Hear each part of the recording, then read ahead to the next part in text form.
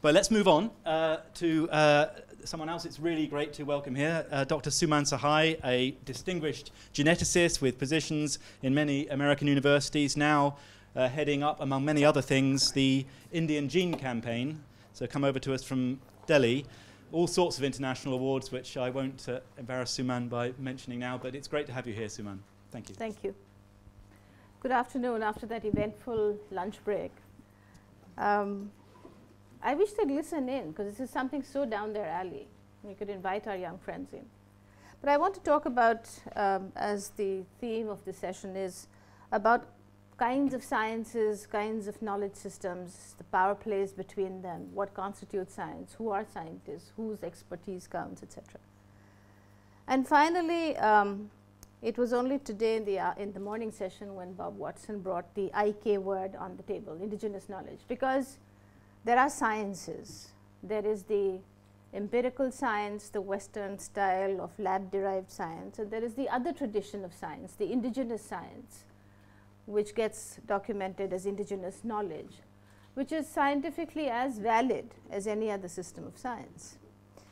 There's an enormous uh, lack of parity in the acknowledgement and recognition of these two sciences, and that plays upon the kind of power structures that stand behind these constructions of science and, and creations of, of knowledge systems. Indigenous science is extremely relevant, it's scientific. It may not be credible across cultures, but does it have to be? If problem solving is to be local, then it has to be credible locally.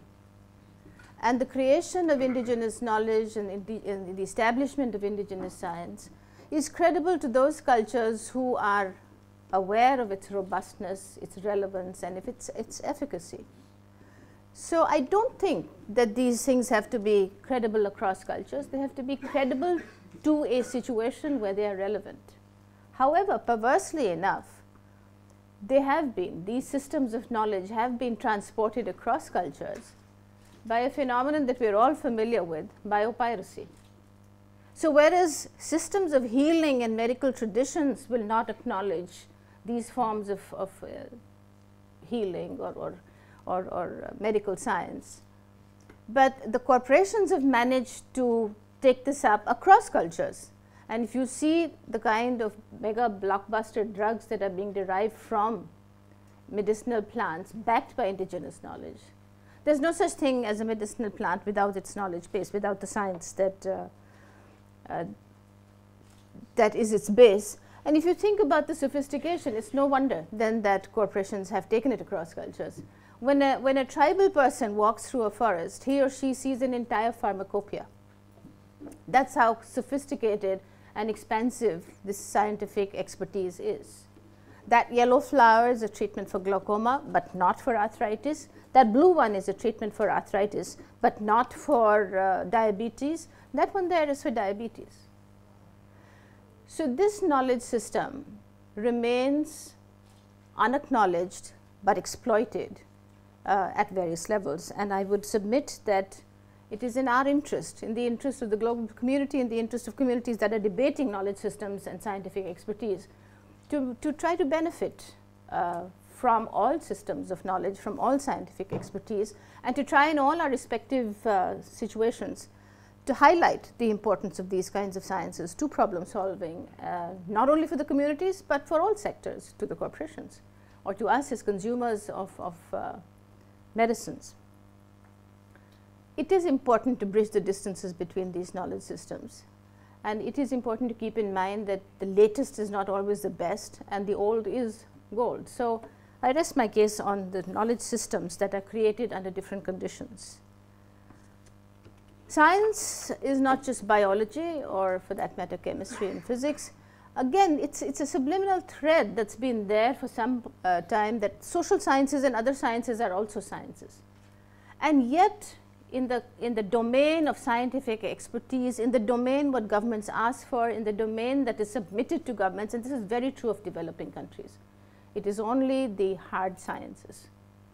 So, it will be a lot of people who come from biology and it is going to be increasingly biology with the 21st century being the century of biology that are going to advise governments based on, on the so-called hard science.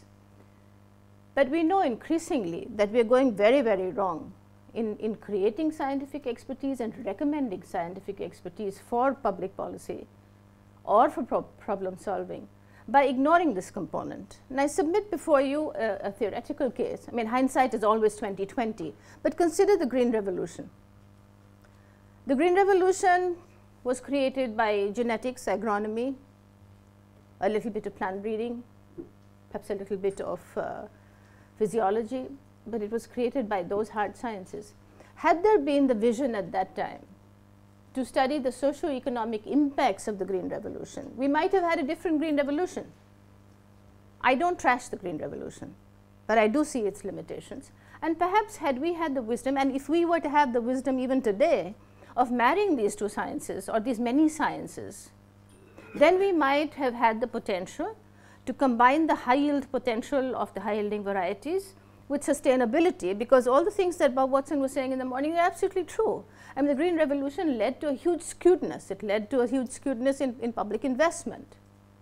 It was not a holocaust, but it was discriminatory. It led to a skewedness in, in the kinds of agricultural systems that were um, favored because they achieved the goals and led to the neglect of rain-fed agriculture, which is biodiverse, which is in the longer term sustainable, which is also something that communities can deal with much more on a one-on-one -on -one basis. Now, I'm not trying to romanticize that kind of marginal uh, sustenance agriculture necessarily, but it has got huge advantages that got completely thrown by the wayside because you went for this one dominant paradigm that had been created by biology, genetics, physiology, and completely ignoring the other the other aspects of what should constitute scientific expertise and does not. Curiously enough, ag biotechnology seems to have picked up these trends. If you look at the Cartagena Protocol's recommendations on, on GMOs, you'll find socioeconomic establishment of socioeconomic uh, paradigm as being one of the constituents for deciding on a GMO. It's there on paper. It's being richly sabotaged by vested interests but it's there on paper. It has entered the discourse. That discourse is not being encouraged. The other thing that has entered the discourse through the, uh, again through the Cartagena Protocol, is the precautionary principle. Now, as technologies get more and more transformative, and they are, and ag biotech is just the beginning, we'll be dealing with nanotech, we'll be dealing with synthetic biology, we'll be dealing with all the omics, the technology adoption is getting crazier and faster and the precautionary principle which is a natural adjunct to this to the creation of this kind of technology has just been merely flagged but is not used. So, both of these features the socio-economic impact of technologies and the precautionary principle in the case of transformative technologies are two things we should take on board as completely integral features of developing scientific expertise and creating scientific models that we want to recommend. Here is also valid to go into who is the expert. For the longest while, the expert has been the other.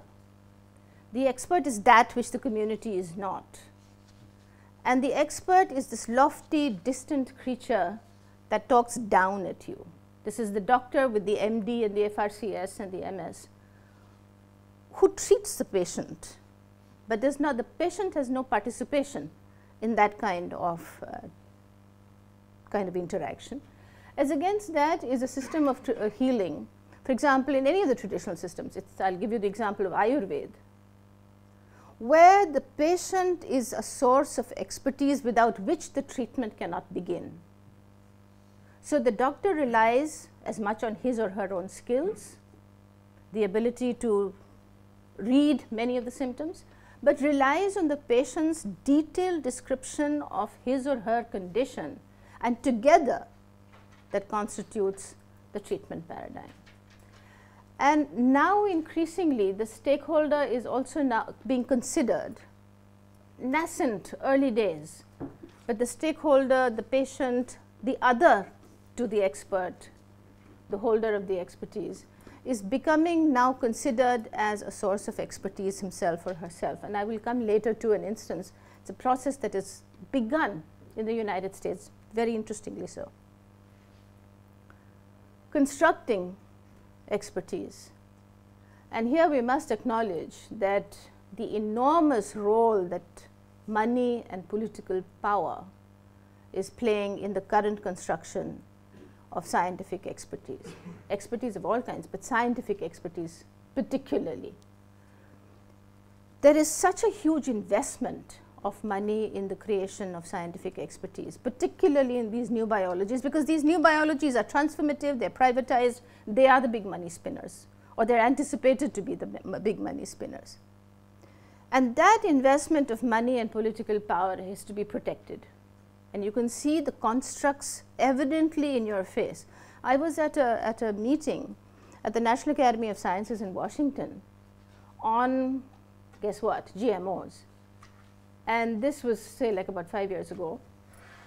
We were trying to, or the conference had been, had been staged, I would say, to discuss the pros and cons of GMOs. It's their, their great application and relevance to developing countries, saving my poor countrymen from being starving to death. And guess who was there in large numbers? The American State Department. Uh, totally flummoxed, I asked this gentleman, I said, what the hell are you doing here? I mean, this is a conference of, of scientists. And he says, well, you know, I mean, the disdainful way that the State Department people and immigration people have of looking at, at little worms. We are responsible for this technology in the United States of America. And so it is. It is the State Department. That is the kind of manifestation of the political power that attends this technology. I mean, GMOs have gone completely out of the window. They're so off the bat that it's, it's amazing. It's, it's a very good example of how you can totally pervert all scientific principles that all of us have learned from high school onwards. But what the role of science is, what sort of this public good thing. But the amount of money that is going into to the creation of new technologies is also leading to a, a concurrent phenomenon and that is the sequestration of this knowledge. So, you have the privatization, the corporatization leading to insane amounts of money being invested in these technologies. These insane amounts of money have to be protected. So, you have gotten into an intellectual property rights regime and uh, you are implementing this whole IPR thing on, on science. And I actually recall uh, we organized, when I was at Heidelberg, we organized a symposium with scientists, particularly with geneticists and biologists, but how they felt about seed patterns, gene patterns, patenting of biological materials. And you could see the face-off between the lawyers and the legal people and the scientists. But what, to my dismay, I also found was a large chunk of the scientific community saying, talking the lawyer's language. So today we find that the science master may be making heavy tracks in the direction of the patent office, not so perhaps in the, in the direction of the tutorial. This is what the privatization and corporatization of science is doing. It will have its implications for the transmission of science to the next generation. When we learned science, we learned on the backs of other scientists. The next generation, I don't know whose backs they'll be learning it on. But there is this whole perversion happening in what is science, what is technology, because of the investment uh, that is going into it, because of the political power that is controlling it.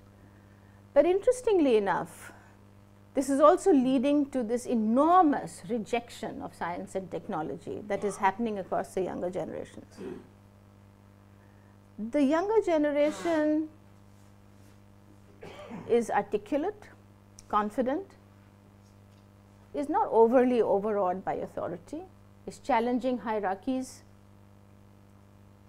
and is very critical of which kind of scientific expertise it is willing to accept. A lot of this is informed by, by what they see as the privatization of science, the privatization of technology. And this rejection, I mean, you see the, the demos and protests against technology now increasingly, and I don't think this is going to change in a rush. Because this whole thing has become obtuse, non-transparent, non-participatory, non-sharing, sequestered, ivory towered, fulfilling the interests of just a few vested interests, nothing contained in it of, I mean, I'm saying this all very, very sharp and rhetorically black and white, but this is how this, these kinds of developments of science and technologies are now being perceived. Along with this is the other process that we are seeing, and that is the subversion of the peer review process. I mean, the peer review process was this, was this holy grail of scientific endeavor. And all scientists, I mean, this one goal that they had in life was to publish in a peer reviewed journal and receive the accolades not of money but of the recognition of their peers. So, the scientific peer review process was a very, very important part of retaining the integrity and the purity and the hallowedness of scientific expertise and that is why it was acknowledged and that is why it was deferred to and that is why it was given this hallowed status from which it is rolling down rapidly now. Let me give you an instance of what the peer reviewed process can do. I mean, you've all followed the old tobacco debates when even journals as venerable as Lancet and BMJ were publishing um, articles that, that nicotine had no connection with cardiovascular disease or with, or with lung disorders, etc. From there came the, the chemistry and pharma articles, and now you have the GM articles. So, the peer review process, the disintegration of the peer reviewed process in scientific journals of repute is cause for extremely high levels of concern. We as a scientific community must be bothered to death about this. Because then where are you going to do standard setting? Where are you going to, where are you going to recognize the bar, never mind lower it or, higher, or raise it? And the disintegration of the peer review process, I mean, I will, I will recall for you an example and where it has led to. In February of 2002, there was a publication by two scientists uh, and Zilberman. This was a science paper in which the authors suggested that the, the planting of BT cotton in India led to an 89 percent increase in cotton production. That was the quantum of rise in yields by the adoption of BT cotton. Many of us who work on BT cotton, and Gene Campaign has been working on BT cotton from day one, we analyzed the paper and saw that the paper had rested on data from the company's controlled trials. At the same time, there was the first BT cotton crop in the field. And Gene Campaign ultimately wrote the first ever analysis of the BT cotton performance. But Qaim and Zilberman wrote a paper showing 89 percent not on the proper fields of BT cotton where it was being cultivated, but on field trials belonging to the company, belonging to Monsanto. There were howls of protest. Many people wrote off that this is false, that this is incorrect. And this came from many quarters. We wrote off, and so did a lot of other scientists. Science did not publish one single letter. That is cause for concern.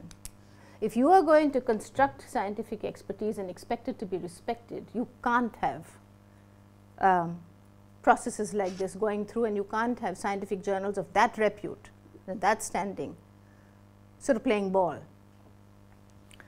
So along with, the, along with all of this is not surprisingly the huge distrust of experts, the rejection of scientific expertise and the desire to, to say that all technology is bad. So, what should we do? What should we do as the scientific community, as people who are interested in science, who believe in science, and who see its great value, or of sciences and see their great value in, in contributing to the formulation of public policy or, or solving the problems of communities, etc.